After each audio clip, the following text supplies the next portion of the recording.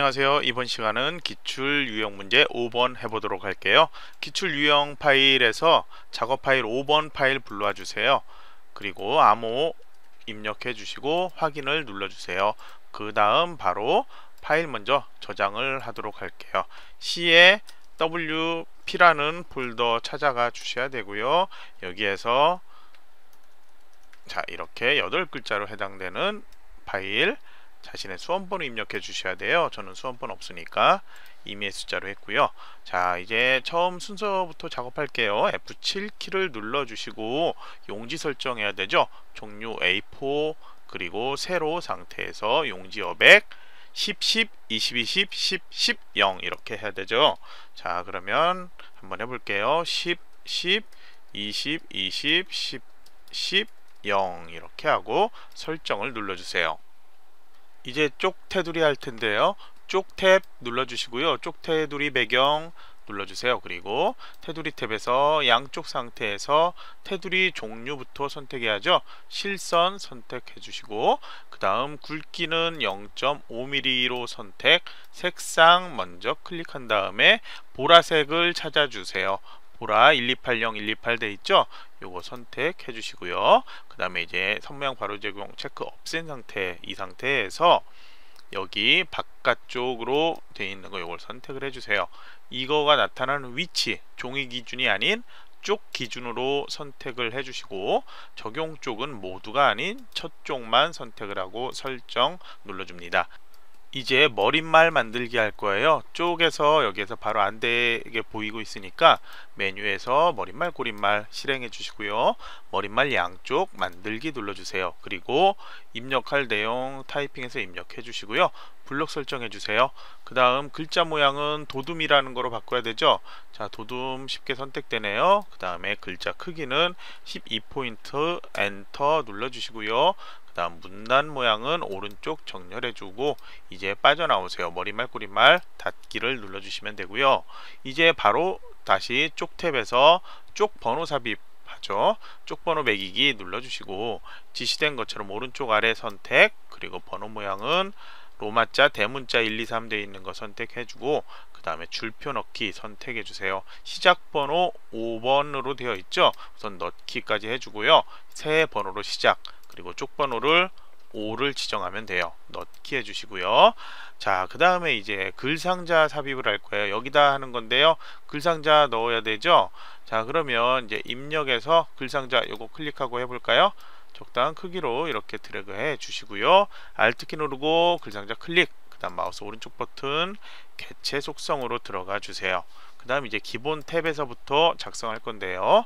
너비부터 조절할게요. 고정값 상태에서 값을 지정해 주세요. 150 높이는 14로 지정을 해주고요. 그리고 위치는 글자처럼 취급을 이렇게 선택을 해주세요. 그 다음 이제 여백 탭으로 가주시고요.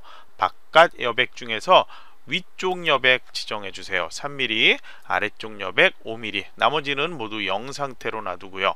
이제 선탭도 가주시고요. 선탭에선 선을 아예 없음으로 바꿔주세요.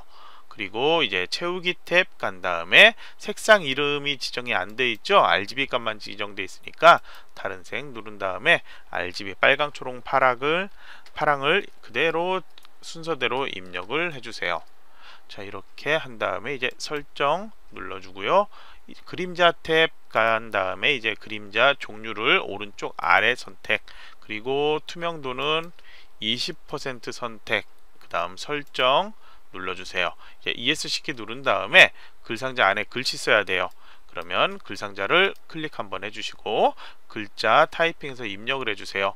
글상자에 들어간 글자를 블록 설정해 준 다음에 글꼴 또 바꿔줘야 돼요. HY 헤드라인 M이죠. 자, 그걸 찾는데요. 바로 안 나오면 그대로 입력하면 되죠. 자, HY 헤드라까지만 입력하면 나왔어요. 자, 요거 선택을 해주시고요. 그 다음에 23포인트라고 입력하고 엔터키 눌러주고 하양색, 흰색이죠. 자, 흰색 선택을 해주세요. 그리고 문단 모양 가운데 정렬해 주고요. 이 글상자 자체도 가운데 정렬되어 있나 이렇게 밖에 커서 놓고 확인을 해 주시고요. 이제 지시번호 14번으로 내려가 볼게요. 이 문서도 14번 하는데 밑으로 내려가서 기타 사항이라는 작은, 작은 글 상자부터 수정할게요. Alt 클릭한 다음에 개체 속성 똑같이 들어가 주세요. 그 다음에 이제 기본 탭 가서 본문과의 배치 글잡처럼 취급 요거 체크 없애 주시고요. 여기에서 글 앞으로라는 거 클릭 한번 해주세요.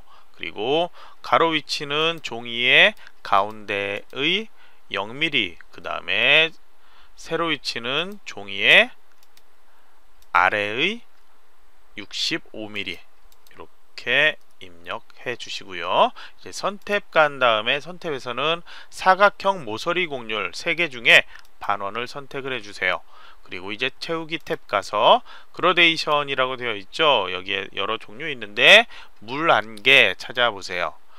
물 안개를 찾아서 그 다음 더 이상 지정할 거 없죠? 설정 눌러주세요. 그리고 이제 이 밑에 글자 써있는 흰색 이 글상자 Alt 클릭한 다음에 똑같이 개체 속성 들어가 주시고요.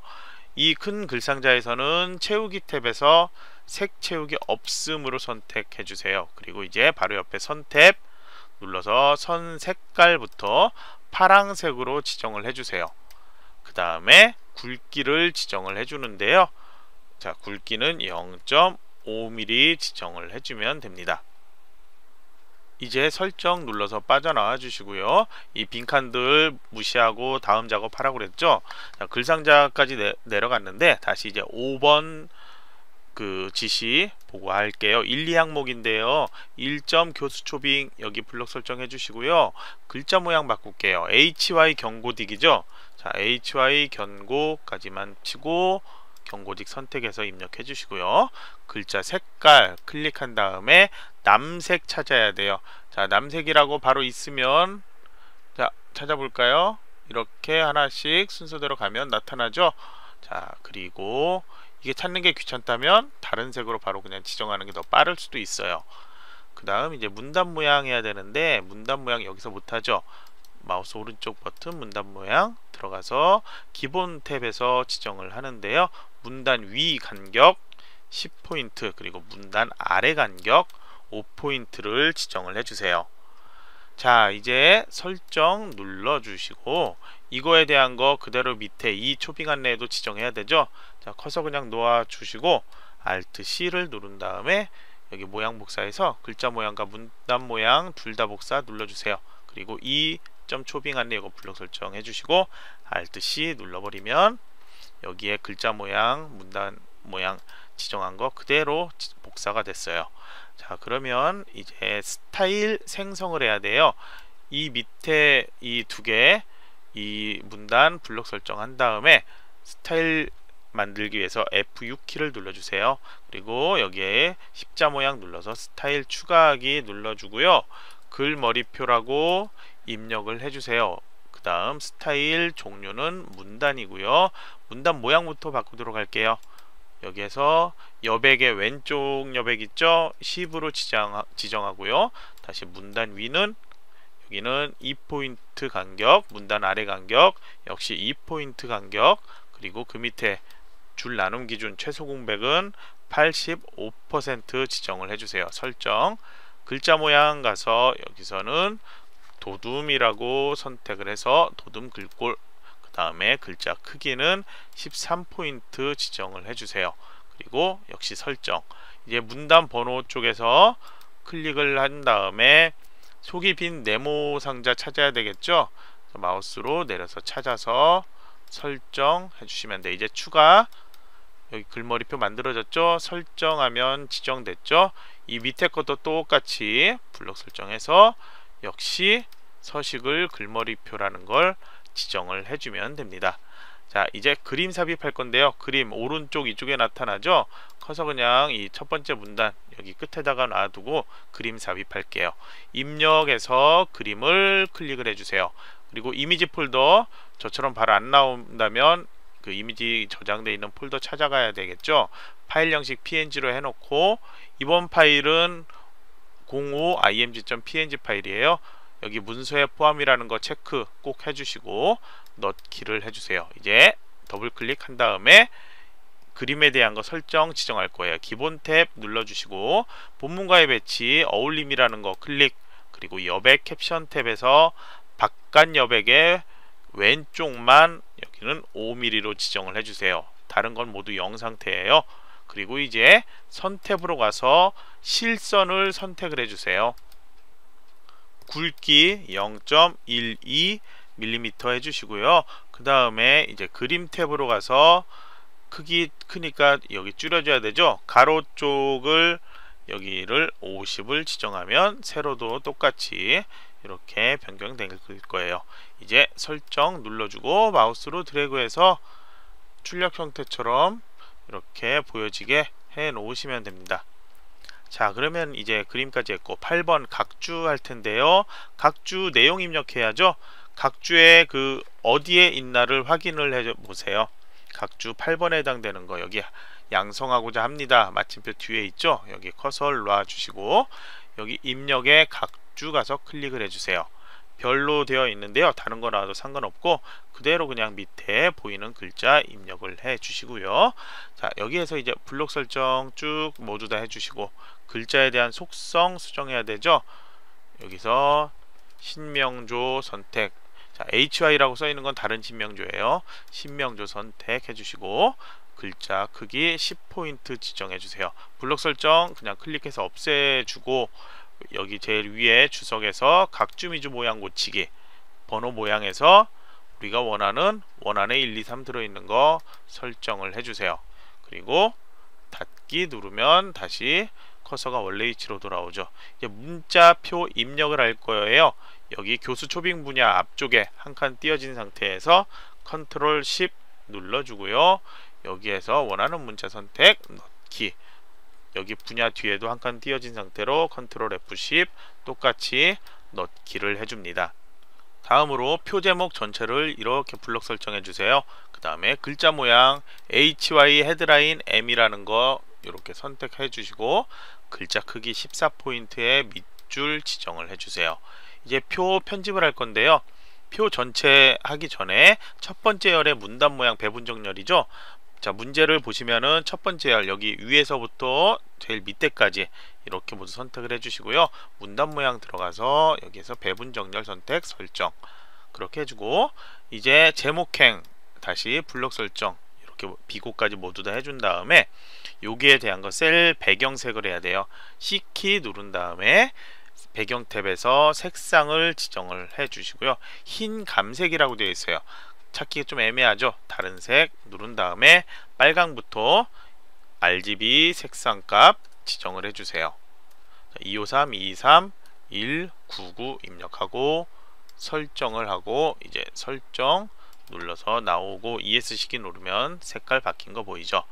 자, 그 다음 이제 셀 테두리 모든 셀을 이렇게 설정을 해주세요. 그리고 다시 L 눌러주시고요. 여기에서 이제 테두리 탭으로 가준 다음에 여기 선모양 바로 적용 혹시나 체크되어 있다면 시험장에서도 반드시 체크 먼저 없애놓고 작업해야 돼요. 자 그러면 이제 여기에서 표 바깥쪽 위쪽 아래에 할 거예요. 실선 0.3mm 선택 위쪽 아래쪽 선택 선 없음 선택해서요. 표 바깥쪽 왼쪽 오른쪽을 선택을 해주세요. 그리고 이제 설정 눌러주고요. 이제 보면은 제목행 아래쪽에 이중실선 지정하죠. 이렇게 블럭 설정 다시 L키 누른 다음에 테두리 탭에서 이중실선 선택 그리고 0.5mm 상태에서 아래쪽만 이렇게 지정 그 다음 설정 눌러주시면 됩니다. 자 그리고 이제 대각선 나와야 되는 부분 있죠. 여기 두 개 이 셀 선택하고 다시 L키 한 번만 더 눌러주고 대각선 탭 가서 해당된 모양 선택하고 설정 눌러주세요. 그리고 초빙 인원 제일 밑에 19라는 거 자동 더하기에서 나와야 되죠. 자 계산식 하기 위해서 블록 설정 그리고 마우스 오른쪽 버튼 눌러서 여기에서 블록 계산식 블록 합계라는 거 클릭하면 자동으로 위에 숫자들이 다 더해서 19라고 나올 거예요. 이제 편집 쪽 끝나고 밑에 입력하는 부분 이 페이지 작업해야 되죠 아시아까지만 되어 있는데요 제일 밑 상태 그 결실을 체험하 직접 체험해 보시기 바랍니다까지 모두 타이핑해서 입력해 주세요. 영어랑 대소문자 확인해서 잘 입력하고요. 그리고 한자 바꾸는 거 한자 키 눌러서 하는 것까지 모두 다 완성을 해 주세요. 글자 입력했다면 글자 입력한 거 모두 다 그냥 블록 설정해 주시고요. 글자 크기는 12포인트로 지정을 해 주세요. 글꼴은 바꾸지 말고요. 그 다음에 문단 모양에서 들여쓰기 해줘야 돼요. 문단 모양 가서 첫 줄 들여쓰기 12포인트 지정 설정 눌러주세요. 그 다음 이제 블록 설정 없애주고 제일 끝에 바랍니다 마침표 뒤에서 엔터 키를 눌러서 이 줄에서 이제 표를 만들 거예요. 줄수 한번 세보세요. 그리고 칸수도 최대 칸수 계산을 해서 몇 줄 몇 칸인가 나오죠. 자 그럼 이제 표를 만들 건데요. 입력해서 표를 클릭을 해주고요. 줄수는 8이죠. 그리고 칸수는 최대 칸수가 4칸이죠. 이렇게 만드는데 글자처럼 취급 반드시 체크한 상태로 만들어야 돼요. 자 너비는 임의의 값으로 지금 저희 163으로 되어 있는데요. 그대로 그냥 163으로 지정할 거예요.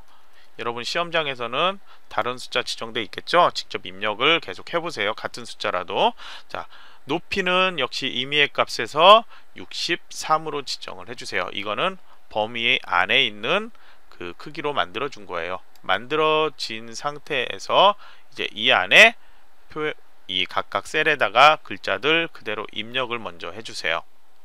셀 합치기가 안 된 상태이기 때문에 글자를 입력하면 이런 형태로 입력이 되겠죠? 그러면은 이 상태에서 우선 글자에 대한 거 속성부터 조절을 하도록 할게요. 도둠이라는 글꼴로 바꿔주세요.